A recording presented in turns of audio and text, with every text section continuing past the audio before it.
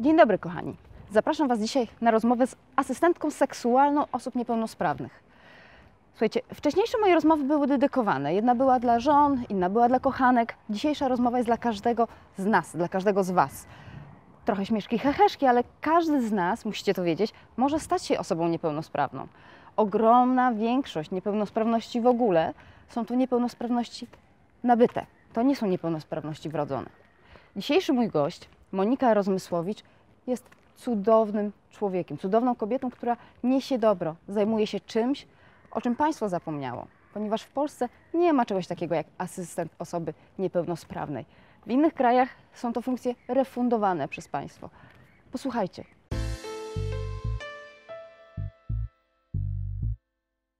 Pani Monika jest trenerem psychofizjoseksualnym osób niepełnosprawnych.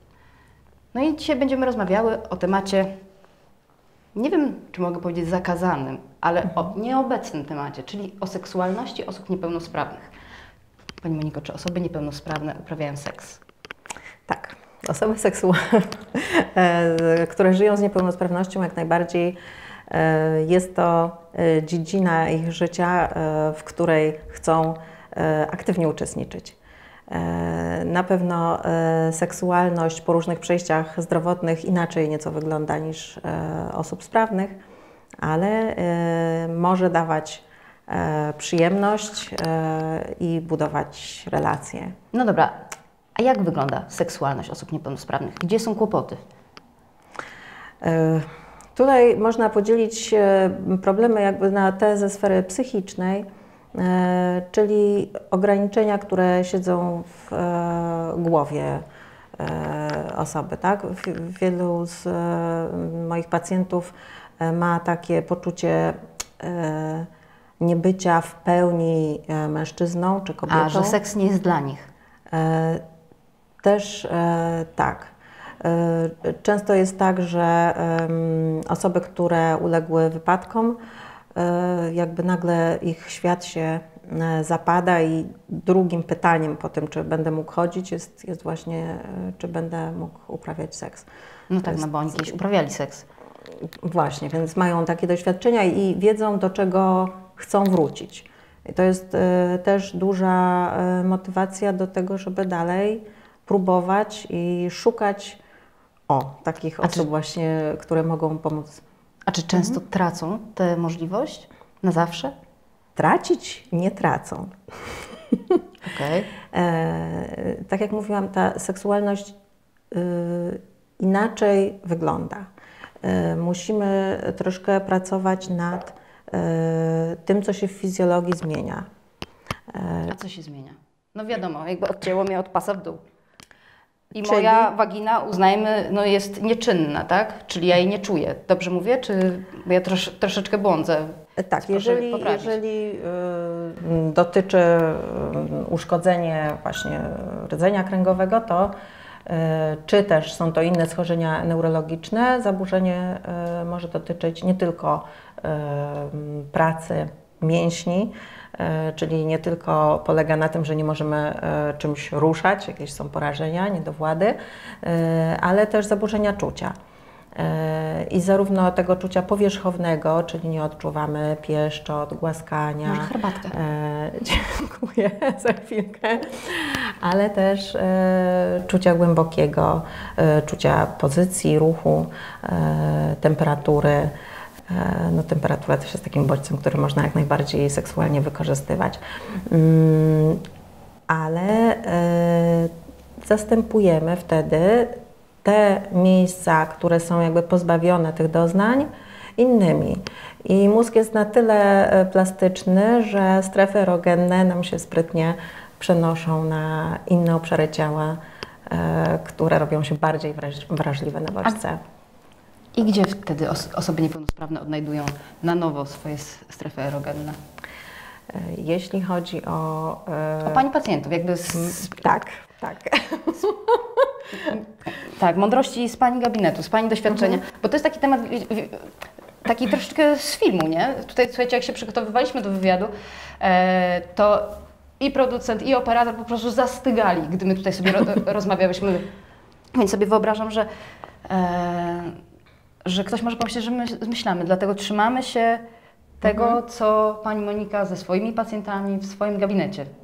Często jest e, tak, że jeżeli ktoś e, ma zaburzenia czucia poniżej pewnego, pewnej e, wysokości, no w zależności od, od poziomu, to te strefy erogenne przenoszą się wyżej.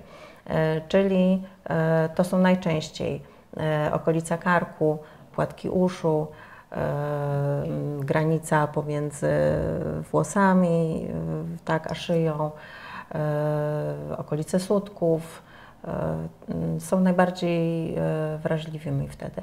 Mm, Ale to też e, każdy powinien badać, bo bardzo indywidualnie się to rozkłada, więc warto samemu sprawdzać, e, które miejsca są najbardziej przyjemne. Zas- Pani Miko, za- zastanawiałam się teraz, czy moje pytania mogą obrażać osoby niepełnosprawne, ale mm, mam nadzieję, że nie. Natomiast kipi we mnie ciekawość, czy, czy w ten sposób one są w stanie osiągnąć orgazm? Czy oni, one odczuwają orgazm jako finisz takich pieszczot? Znaczy, ja bym tu zwróciła uwagę na jedną rzecz, jeszcze zanim do orgazmu podejdziemy. Okej. Y, że jeśli chodzi o te strefy erogenne właśnie, zważywszy na to, że one są w innych miejscach i my się nie spodziewamy tego, że kiedy podchodzimy do osoby poruszającej się na wózku, to na przykład y, okolica jej y, karku szyi może być Jest naszym penisem, albo mniej więcej. Tak, to trzeba bardzo uważać, y, bo to y, jest jakby wkraczanie w jej strefę intymną. Tak? Tutaj nie, nie głaszczemy każdego znajomego i, i jakby to nie jest takie naturalne jak e, przy innych osobach. To trzeba mieć, dostać pozwolenie na to, żeby wejść w taką strefę i w taką intymność. Okej, dobra. E, no i orgazm. Czy da się osiągnąć w ten sposób orgazm? Czy ten orgazm też jest celem? No właśnie. Mm, To też e, zależy od osoby, ponieważ e, mniej więcej tak jedna trzecia osób e, ma zachowaną e, zdolność orgazmu naturalną. Natomiast często przy właśnie uszkodzeniach ośrodkowego układu nerwowego dzieje się tak, że Mówimy o osobach, które doznały paraliżu i jakby ak- aktywność, czynność członka jest nadal aktywna? Mm, Też różnie z tym bywa. Też e, czasem trzeba wspomagać. E, to zależy też od głębokości uszkodzenia, po prostu. E, I dlatego u każdego jest troszkę inaczej. Natomiast mm, rozdzielają się te dwie rzeczy, które u zdrowych mężczyzn idą w parze, czyli ejakulacja razem z orgazmem. E, Możemy mieć e, tak zwany suchy orgazm, czyli bez wytrysku. Może być e, wytrysk, który pojawia się spontanicznie w trakcie akcji seksualnej, jeśli można tak to nazwać, ale też to może być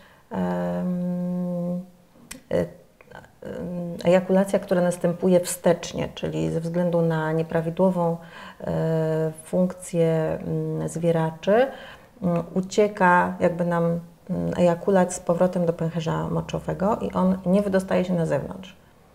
E, Też em, sama ejakulacja troszkę inaczej wygląda i tutaj e, to nie muszą być fajerwerki i, i jakaś fontanna pod sufit, e, tylko czasem jest to po prostu wypłynięcie spermy na zewnątrz. Okej. E, Sama, same sposoby, które e, wspomagają nam erekcję, można podzielić e, na takie mm, no, cztery, z czego trzy są faktycznie używane. Mm, Bo e, umówmy się, że, że e, protez członka mało kto w Polsce e, stosuje. Natomiast są to inhibitory fosfodiesterazy typu 5, które powodują większe ukrwienie ciał jamistych członka, czyli napłynięcie większej ilości krwi, a jednocześnie zamykają odpływy żylne i wtedy krew nie ucieka. Słuchajcie, ja udaję, że wiem, co Pani powiedziała, dlatego że Pani to powiedziała wcześniej i ja doprecyzowałam. Chodzi o Viagrę. Mhm. Tak, ale też wiem, że e, Viagra jest już troszeczkę takim anachronizmem, prawda? Na rynku w- w farmakologii. E, Jest to e, lek z, e, tej grupy najstarszej generacji. Po nim weszły e, tadalafil i wardenafil, a w tej chwili avanafil jest e, najnowszym, e, który daje najmniej działań niepożądanych. A jakie są niepożądane przy, przy Viagrze? E, no, między innymi to mogą być e, skoki ciśnienia, to jest zaczerwienienie twarzy, to są obrzęk śluzówek nosa, to może się pojawić nawet widzenie w kolorach niebieskich. W zależności od tego, jak mamy wydolny organizm, należy rozważyć też e, z lekarzem, e, czy ma to sens e, zażywanie tych leków, czy nie.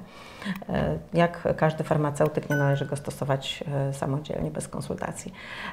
Są też leki, które mm, nie działają na cały organizm, gdyż są podawane bezpośrednio do ciał jamistych członka poprzez iniekcję. I tutaj mamy na przykład prostaglandynę E. E, są też e, takie, które, które możemy zaaplikować docewkowo, e, czyli już wtedy nie nakłuwamy, nie musimy się bać igieł, tylko po prostu czyli do Czyli po prostu usztywniamy motowej. członka, tak? Dobrze rozumiem? Nie, to jest po prostu wstrzykujemy substancję i ale Tyle. która Aplikator właśnie... wyjmujemy. Tak, tak, tak, ale, ale która działa w taki sposób, że usztywnia członka, dobrze mówię? Tak, powoduje, tak, powoduje, że na, mm, napływa do niego więcej krwi i ona tam zostaje na jakiś czas. Y, są też metody czysto mechaniczne, czyli po prostu na zasadzie zasysania są pompki, y, które tą krew do członka zasysają.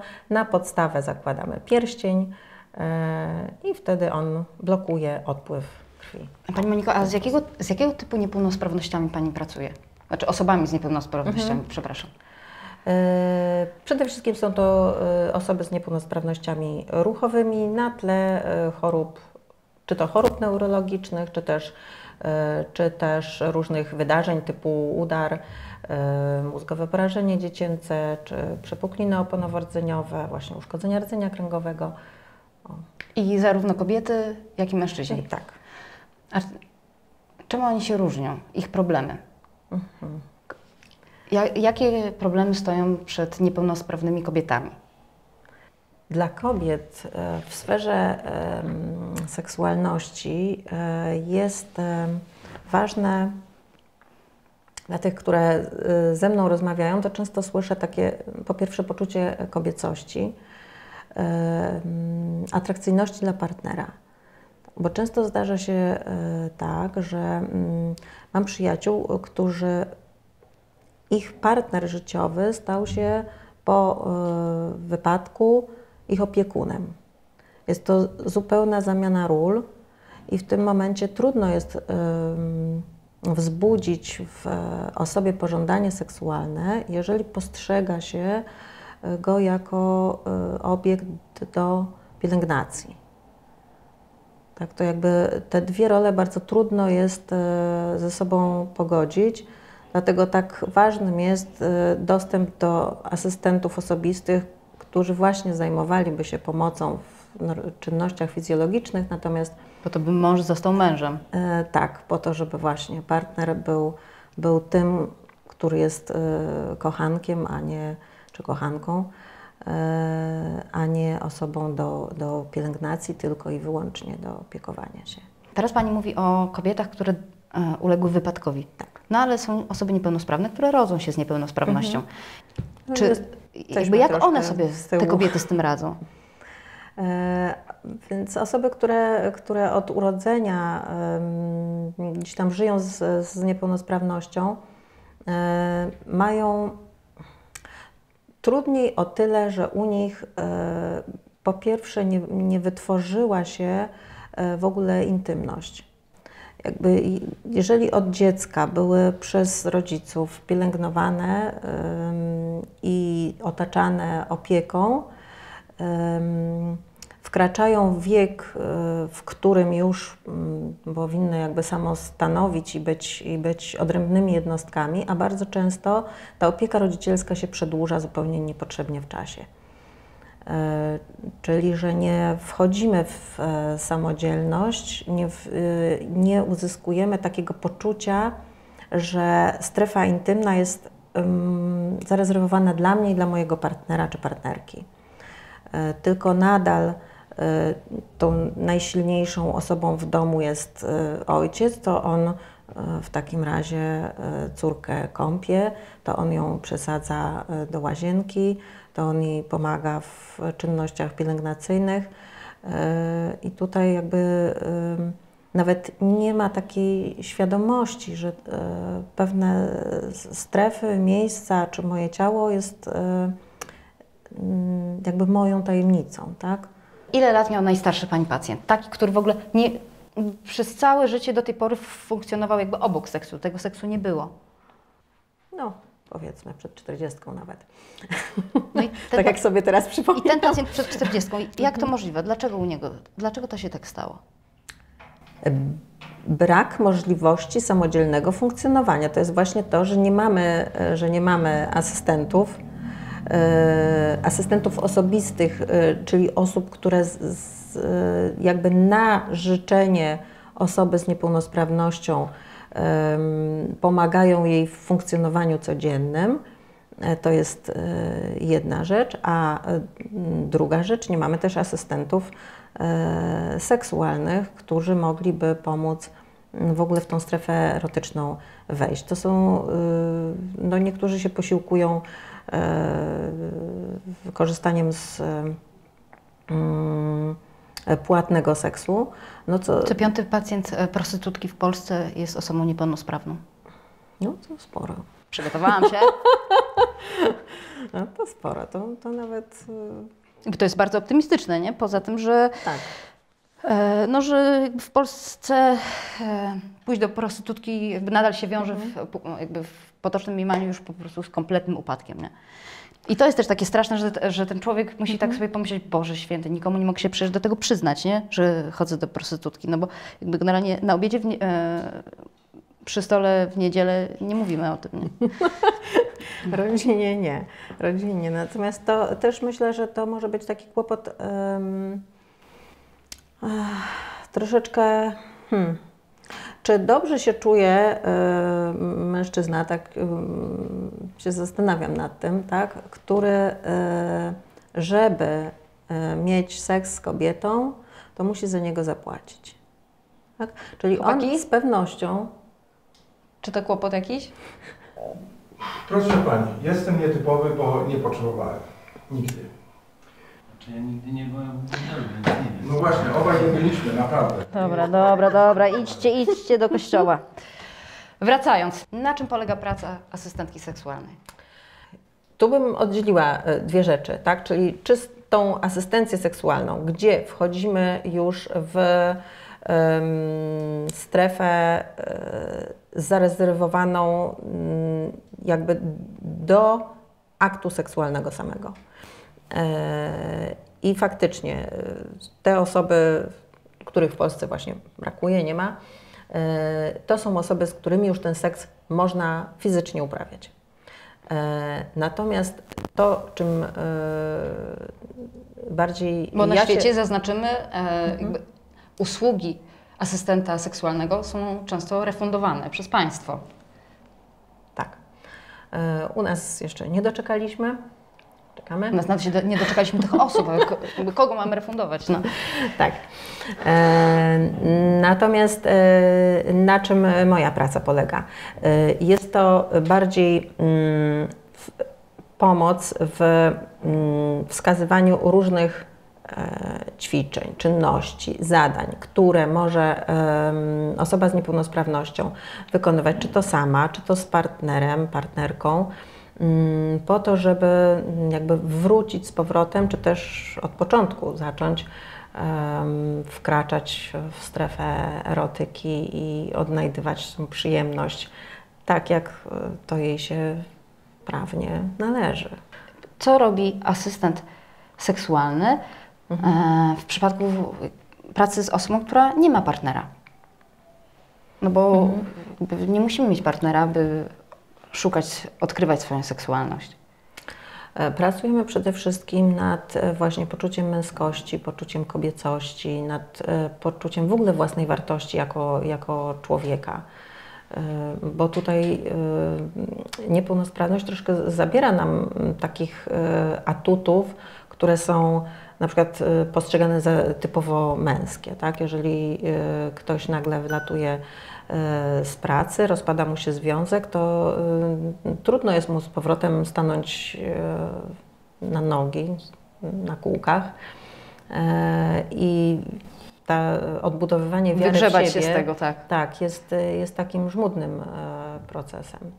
No ale jest możliwym, jak najbardziej. To jest, to jest coś, co, co bardzo fascynuje i, i, i bardzo mnie cieszy, jeżeli A z takich części czysto warsztatowych, słuchajcie, ja zmierzam do czegoś, bo za chwilę chcę Wam pokazać film, o, o którym Pani Monika wie, że ja chcę Wam go pokazać. E, no, co tam się wyprawia na tym filmie? Tu był przykład em, życzenia, które wyraził e, właśnie kolega, że tak chciałby, żeby partnerka dla niego zatańczyła, rozebrała się, usiadła na nim, położyła jeszcze, powiedział dokładnie, jak ma to wyglądać. I tak też wyglądało. Zamówienie było. Tak, to było na zamówienie. Jego zamówienie, tak? Bo to ważne jest, że, że to y, osoba, która y, żyje z niepełnosprawnością, to ona jest jakby decydentem w tym wszystkim, jest specjalistą od siebie i s, sam czy sama wie najlepiej, czego pragnie i, i, i co jej się podoba. No, pan Wojtek, który występuje, e, jest bohaterem w, e, drugim obok pani w tym filmie. Mm, No wiemy, że przez, sam mówi o tym, nie? że przez cały rok żyje myślą o powtórce tych warsztatów. Więc tutaj jakby taki ukłon, że pani praca e, wnosi trochę słońca w ich życie. Tak, i bardzo mnie to cieszy, bo dostaję faktycznie dużo takich informacji zwrotnych o tym, że jakby w, w życiu y, osób, z którymi rozmawiam, dużo się zmienia i to jest y, niesamowicie budujące i cieszące, a y, myślę, że z pewnością warto. I na kolejne warsztaty też planujemy jeszcze e, jedno przedsięwzięcie, które, które będzie tam miało na celu mocne wybicie erotycznego e, obrazu, erotycznej, em, jakby e, pokazania erotycznej strony niepełnosprawności, że jednak jest to, może być piękne, może być zmysłowe i jakby za tym idziemy. I tutaj szukamy też osób, które zechciałyby nam pomóc sponsorować taki, e, taki, taki warsztat, dlatego że no, wiąże się to też z zatrudnianiem pewnych osób, które profesjonalnie się zajmą pomocą. A co osoba pełnosprawna, e, która zakochuje się w osobie niepełnosprawnej, musi wiedzieć o temacie, który się za chwilę pojawi, czyli seks z osobą niepełnosprawną? Oczywiście, to zawsze zależy od tej niepełnosprawności, tak? Bo jeżeli ktoś jest wkurczenie niewidomy, to w zasadzie niewiele się zmienia. No. Musi wiedzieć przede wszystkim, e, jaką osobą jest ta osoba, z którą, z którą w relacji. No bo to jest trochę taki strach, sobie wchodzi. wyobrażam, nie? Tak. Mm, mm, Znaczy, y, y, strach jest dlatego, że y, boimy się nowych rzeczy, tego, co nie znamy i o czym nic nie wiemy. Ności. Tak. To, to może się taki pojawiać strach, y, ale to się nie ma zupełnie czego bać, tak? Bo y, osoby, mm, które y, gdzieś tam jakąś mają dysfunkcję, są przede wszystkim osobami. Mają swoją osobowość, swoje pasje, swój, swoją hierarchię wartości i jakby jak za tym idziemy, to, y, to w jaki sposób y, ten seks trochę zmienimy, y, to jest wszystko do dogadania. To wystarczy to oswoić po prostu i mm, przyjąć, że mm, pewne zmiany po prostu zachodzą inaczej wygląda niż tradycyjny może trochę. Może czasem trzeba użyć jakichś mm, przyrządów, przyborów, może trzeba się wcześniej przygotować. Y, To mm, da się wszystko zrobić. Jest y, tak, że to są osoby, które naprawdę są bardzo takie same jak my, tak? podobne do nas i mają swoje jakby swój potencjał, który dają nam. Bo też moja, y, no dobrze, wiedza merytoryczna jest wyniesiona y, ze studiów, natomiast y, całe moje doświadczenie i, wiedza, którą ja przekazuję dalej, to jest to, co ja dostałam od e, moich kolegów i koleżanek, e, które mają doświadczenie i żyją z niepełnosprawnością. I to jakby ta energia od nich przepływa. I postrzeganie osoby, mm, która porusza się w inny sposób, czy ma jakieś defekty e, fizyczne, przez e, tylko spojrzenie na jakby na, czysto na ciało jest w ogóle tak e, niemiłosiernie krzywdzące i, i fałszywe, zupełnie fałszywe, dlatego że to są osoby, które nam niesamowicie dużo dają. Tak, tak jak każdy, no, są łobuzy, owszem, ale, ale są takie osoby, które wzbogacają nasze życie po prostu. Pani Moniko, wydaje mi się, że jakby to Pani podsumowanie jest najlepszym zdaniem kończącym naszą rozmowę. Bardzo Pani dziękuję. Dziękuję ślicznie. Słuchajcie, już wyłączyliśmy kamerę, ale teraz trochę wracamy na chwilę. E, e, Pani Monika chce nam opowiedzieć o tym, jak to e, osoby niepełnosprawne sprawdzają swoją męskość. Wyrywają panienki po prostu. No tak. Ponieważ e, to nam się wydaje, że, że jak e, osoba porusza się e, inaczej niż my tradycyjnie, to już jakby jest wykluczona ze sfery seksualności. I to jest niezwykle krzywdzące. A często jest tak, że e, osoby, które już się troszeczkę ogarnęły właśnie w sprawach e, samodzielności, samoobsługi, wszystkich funkcji fizjologicznych, wszystko mają Tak, wiedzą, co trzeba wziąć, żeby ta erekcja była, co trzeba użyć. tak, już, już są z- to stare harpagany, tak, umieją jeździć po schodach, jeździć samochodem i, i mają pracę i ustawieni są jakby już zupełnie życiowo. To często lubią też potwierdzać swoją taką męską atrakcyjność poprzez e, kolejne wyzwania i, i zdobywanie kolejnych kobiet. Takie gagatki. Tak, tak, tak. Więc to też jest taki element, na który e, warto zwrócić. A są, przy... są niezwykle czarujący. Naprawdę. I co, kochani, niesamowita babka, nie? Słuchajcie, jeżeli jesteście zainteresowani rozmowami z takimi skarbami, z takimi ludźmi, proszę, subskrybujcie kanał i też piszcie do mnie, co dla Was jest ważne, jaki temat chcielibyście, bym poruszyła w następnej rozmowie.